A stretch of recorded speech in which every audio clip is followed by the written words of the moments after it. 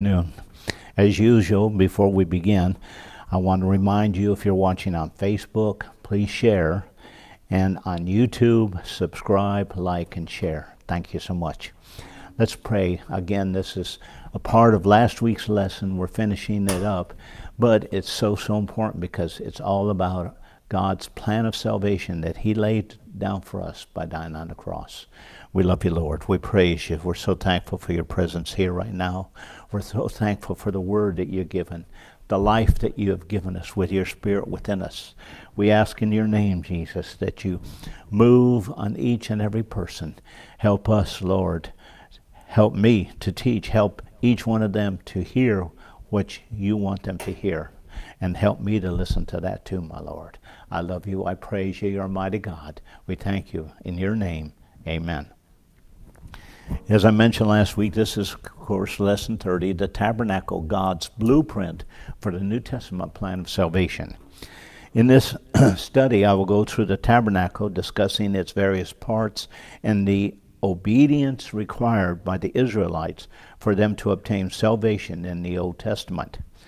I will also discuss how Jesus fulfilled the requirements of the Old Testament tabernacle plan to lay down the blueprint of our plan of salvation today. He did not come to destroy the law, he came to fulfill it. Finally, I will show God's plan of salvation for each of us today. And as I mentioned last year, I've been reading this book for 51 years now. And I have found no errors, no contradictions. I have uh, people have told me there was errors and contradictions. I searched them out. No, there's no errors. There's no contradictions.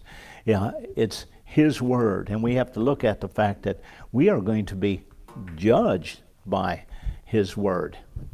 We better know it. It's going to be mighty embarrassing for some people to stand before Him on Judgment Day and well, they had a Bible, or there was one sitting on their table in, in the middle of their living room, but they'd never read it. We are going to be responsible for everything in there, especially what he has done in the tabernacle by fulfilling the Old Testament plan to give us what we have today. So, uh, with that, we have to remember that salvation is not simply a mental affirmation of something. Uh, I believe in Him. No, it requires obedience and evidence. Uh, anytime belief or obedience is studying in the Bible. They're always together. They require each other. If you believe, you obey. And if you obey, there's going to be evidence of that. With that, uh, let's again get into the study. Last week, we looked at the whole tabernacle plan. We looked at the brazen um, altar, which is right here. We looked at the laver of water, which is right here.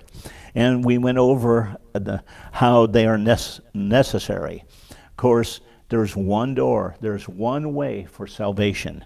And when you get to the door, you can stand there and look at all the things going on, and you can believe as much as you want, but until you walk in and start doing what God wanted you to do, you're not going to get anywhere. And of course, uh, Old Testament, the priest had to go in and offer sacrifices here. And when he offered the sacrifices, uh, he had to go and wash each part in the laver and come back and then uh, offer the sacrifice. The high priest had to initially be baptized in this uh, water of the laver. He had to lay down in it. It had to be big enough for that to take place. But every time after that initial baptism, he had to wash his hands and feet in the laver because blood and water had to mix. It's through baptism where we get into the bloodline of Jesus Christ. Because, uh, and here's something fatal for some people. Some people get baptized in the name of the Father, Son, and Holy Ghost, and name isn't even mentioned. No one got baptized that way in the Bible, just using titles. Everybody, they said, I baptize you in the name of Jesus Christ. Uh, you've got to have that name put on you. Uh, when we are born again, we are born into his family. We have to take his name. That's the only way of getting a name on us. And for us to get into the bloodline of Jesus Christ, where we can become his bride, his children, and his church, and his body. So, uh, with that, I want to start here where I left off last week with the lave water. I'm going to just show one slide here, and we're going to get on with the other articles of furniture. But uh, special mention of a foot directs us to the thought that it has a definite place on earth, on this earth. This is the tub or the top part. Here is the foot. And it's saying that uh, it is a type of baptism and it has a definite place in the plan of salvation. It has a de- definite place on this earth. God had them build that for a specific reason. Its main purpose, exclusively to the priest, was to remove that which would have disqualified for service sin. Looking glasses, mirrors, instruments of vanity and pride provided by the women enabled them to examine themselves. The laver was made up of the looking glasses or mirrors of the women, so when you looked into it, you saw yourself as you are. And we got to get honest with ourselves too. Um, uh, we're not really good guys. There's some old philosophical thoughts, and man is good and no no no man is evil. He was born and shapen in iniquity and sin did his uh, mother conceive him. We are all filled with uh, actually the devil had us under his possession at one time. We all have a little bit of devil possession in us from our birth our original birth. We've got to be born again. We've got to be born into his kingdom the washing of the water of the word ephesians 5.26 sanctifies and cleanses. Uh, John 13, 6, if I wash thee not, thou hast no part of me. And of course, every time they walked into the holy place, the priest had to wash his hands and feet. Blood and water had to mix. Every time uh, we repent, we have to look at the Word of God. These two go together. We're looking at the Word of God, and, and, and, if He's telling us to do something, we better do it. If He's telling us to stop doing something, we better stop doing it because that could be the difference between heaven and hell for us. We're going to be judged by His Word. The candlestick. Let's take a look at this candlestick.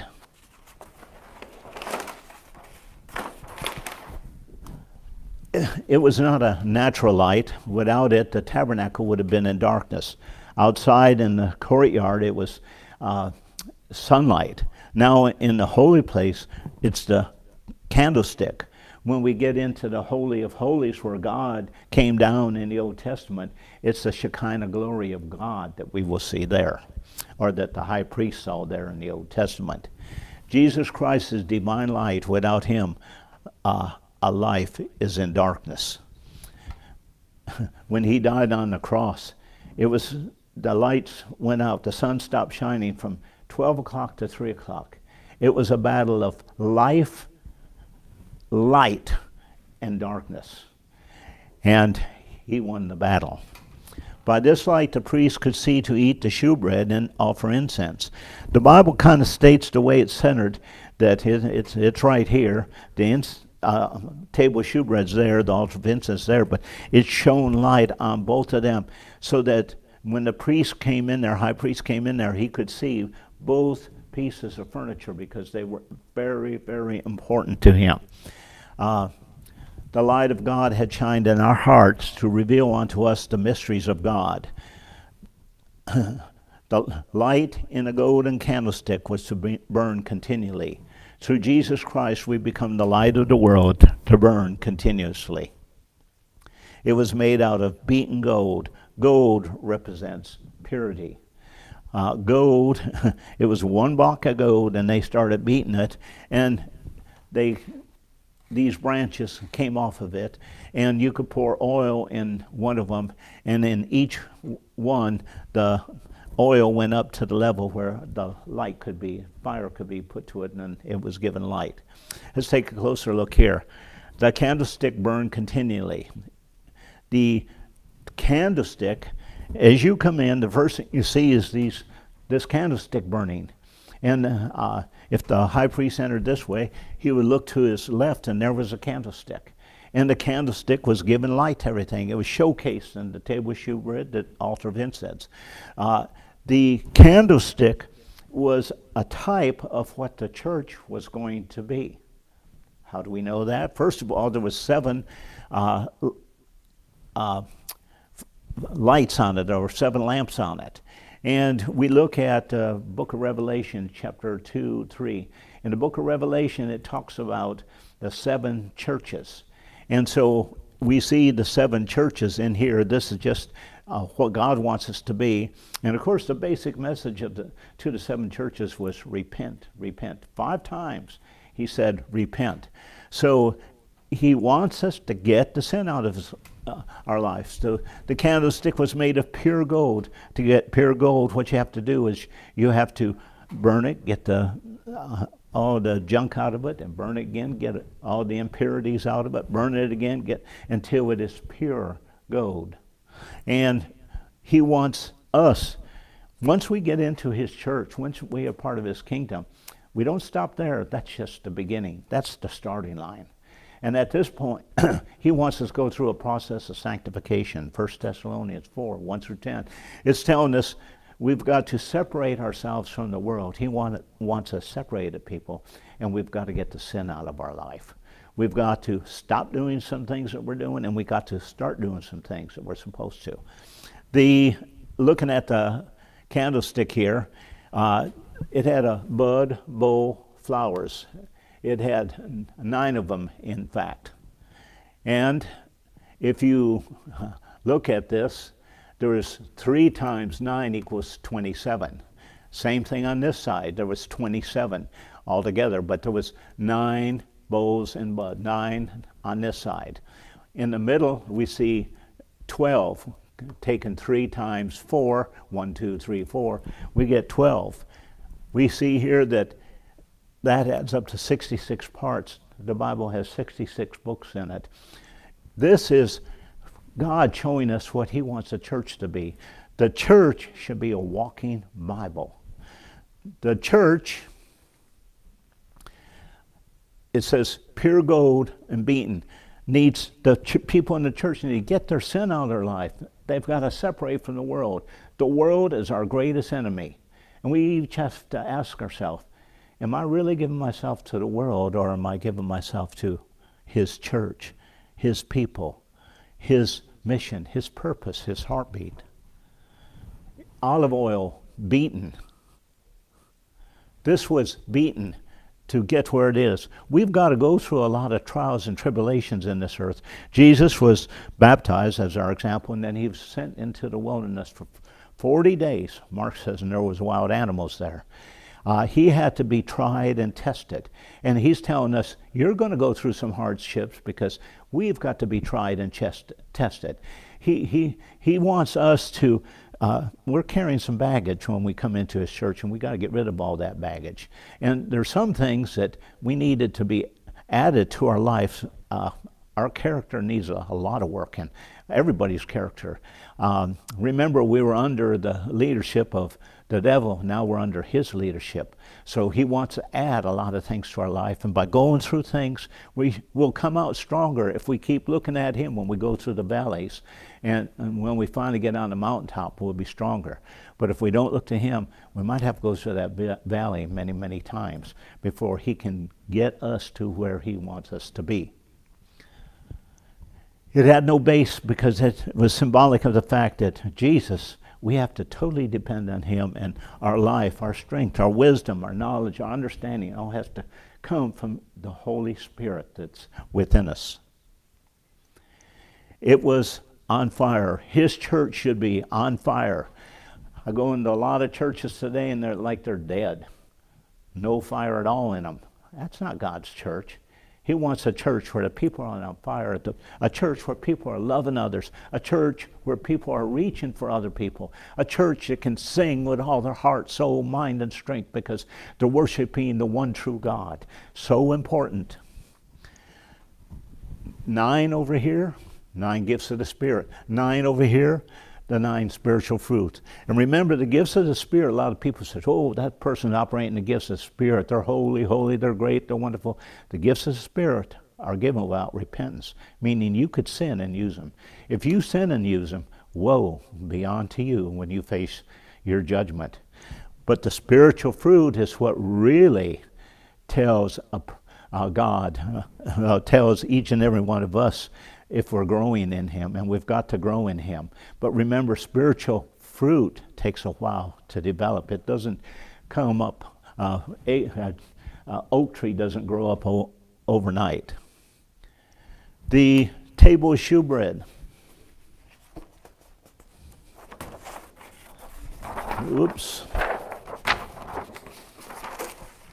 The priest lived upon the shewbread. He received strength and vigor. We receive strength and grow in grace, Christ, as we eat of the bread of life. The shewbread was to be continually renewed. The Word of God must be continually be renewed in our lives. That's the Word of God, 6666. Uh, it's the Bible. Frankincense was sprinkled on the 12 loaves of shewbread. Uh, the Word of God is sometimes bitter to the natural man, but sweet to the inner man. Uh, made without leaven represents sinless Jesus Christ as the Word of God. This is the bread that coming down from heaven. And of course, it says when the priest had to eat the bread. They never ate it in the holy place, the area that was 10 by 10 by 20. There was another holy place, and it was right at the door of the tabernacle. Uh, that was a holy place. That's where the uh, priest just was baptized. That's where he was anointed with oil, is a typology of him receiving the Holy Ghost. And of course, we see here that there was actually two crowns. Most tables of shewbread just have one crown, but it had two crowns. He had two crowns, a crown of thorns, and he was crowned King of Kings. And there's wine here, and there is uh, incense right here. And when the priest comes into this table, he has to pick up the wine, and if he drinks it, he will die. He has to pour it out on the ground because it represents Jesus' blood that was shed on Calvary. The altar of incense.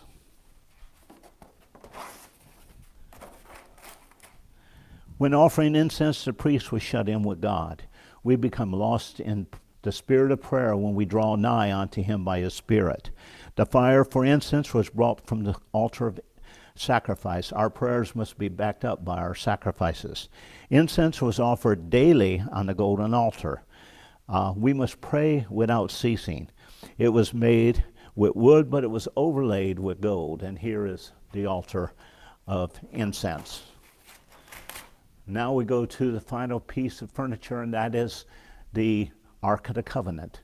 Uh, Ark of the Covenant has two parts the mercy seat, and you can call it a chest coffin or coffer. A coffer is a box for valuables.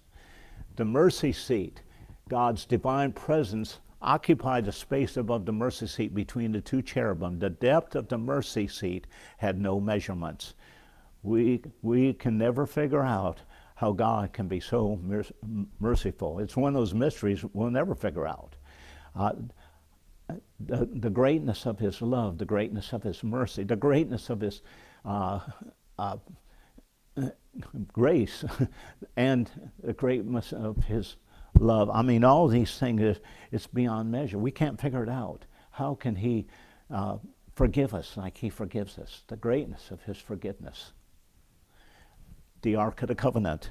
And then we look at the fact that in the ark was uh, the manna, a pot of manna, the two tables of, of uh, stone that the Jesus has or God had etched his Ten Commandments in, and Aaron's rod to butt it. They were all inside there. The uh, tablets had to be uh, small enough to fit inside the Ark of the Covenant. Of course, the mercy seat set up on top of that.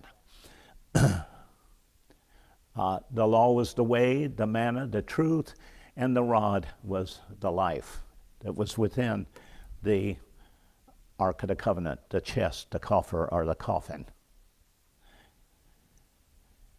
A new way of worship. And of course, uh, we see that in the Old Testament, they offered sacrifices.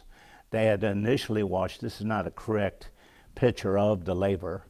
Uh, and in the holy place, uh, there was the altar of incense, the table of shewbread, the candlestick, and then the Ark of the Covenant.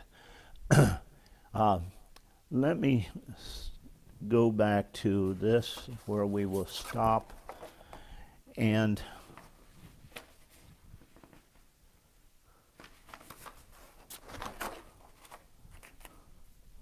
oops. okay. We look at this. This was the daily activity of the priest. Uh, the priest would uh, offer sacrifices. Uh, they initially were baptized here or washed. Every time they uh, offered a sacrifice, they had to wash their hands and feet, and before they walked into the holy place, blood and water had to mix. And in here, they would go in, and the high priest would take the incense, put it upon the altar of incense. He would uh, uh, pick up the uh, wine and pour it on the ground, and then he would get out. He would go in at 9 o'clock, he'd go in at 3 o'clock. There would be two separate sacrifices, one at 9 one at 3. And of course, once a year, he would go beyond the veil. He would go around to the Ark of the Covenant, and he would sprinkle the blood on it from the ox and the goat, and that was done once a year. So this was the Old Testament plan of salvation. The New Testament is the fact that at the fence we have to believe. At the uh, brazen altar, we have to repent. This is where we repent of our sins. And the depth of our repentance equates to the closeness we're going to get to God at the Ark of the Covenant. A lot of people say this was the most important place here because that was the throne of God. But I, I said, no, I, I think this is one of the most important places because all the other things depended upon it because if the fire ever went out, they're not even going to see God. If we don't repent before we come into his presence, the Bible says that uh, our sin can actually block our access to Him. And there's not just one scripture, there's scripture after scripture after scripture that tells us that. If I regard iniquity in our heart, He will not hear us. That's just one of them. The, uh, we've got to repent, and then we have got to be born again. We've got to be baptized. Nicodemus couldn't figure it out. How are we born again? He says, Marvel not what I say unto Nicodemus. You cannot see, you cannot enter into the kingdom of God until you're born of water and the Spirit, which was set up as an example for us in the Old Testament. This was the schoolmaster. Uh, the uh, Galatians talks about the fact the law was our schoolmaster that brings us to Christ. This was a step by step object lesson showing us what we needed to get back into the presence of God. When Jesus died on the cross, he took the fiery sword. When uh, he passed the veil, the veil was rent, the cherubim on it were removed. We now have access to it, and we can go boldly into his presence, but not disrespectfully. We've got to be repentant. And of course, uh, Jesus, uh, he died. He uh, washed at the laver that he die not. He was baptized. He was anointed. Um, the Bible said he was the bread of life. He was uh, offered a prayer. Uh, he was the light of the world. Uh, uh all these, Jesus, uh, when he came, I would state this that in chapter 25, it starts with the ark and it goes to the outer court because when God set the tabernacle, he was coming from heaven, coming down to each and every one of us and reaching for us. But then when he was born, he turned around and he walked through the tabernacle. And of course, uh, when he died, the final atonement took place. And it did not take place there because when the temple was built, the Ark of the Covenant had been gone for uh, hundreds of years. So what he did is he went to the tabernacle in heaven. He went to the throne and he sat on the throne and he was the mercy seat. He, the blood, his blood, was set on the throne in heaven, the mercy seat. Uh, he was the mercy seat. And of course, the presence of God moved to the throne room.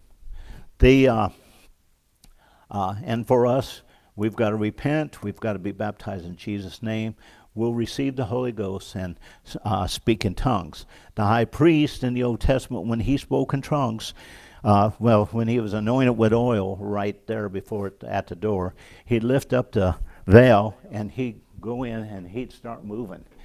And the Bible says a golden bell and a pomegranate, a golden bell and a pomegranate upon the hem of his garment round about. And it was upon him to enter into the holy place. The sound had to be heard when he went in, and that when he went out, that he died not. In this 2,000 year period, the Holy Ghost was given, and there was going to be speaking in tongues. 25 times in the New Testament talks about speaking in tongues. It says, They that believe will speak in tongues. The last one says, Forbid not. People get the gifts of the uh, uh, Spirit mixed up with the initial evidence. Everybody has got to receive the Holy Ghost and speak in tongues. Read the Bible yourself. Don't take opinion of people in the church. And if you read it in the Bible, and it's all over the New Testament, you will be seeking the Holy Ghost and you will be seeking that evidence of speaking in tongues because you want the real thing. You want to make it happen. Thank you, Lord, for your presence, for being with us. In your name, touch each and every person, Lord. We love you. We praise you forever and ever. In your name, amen.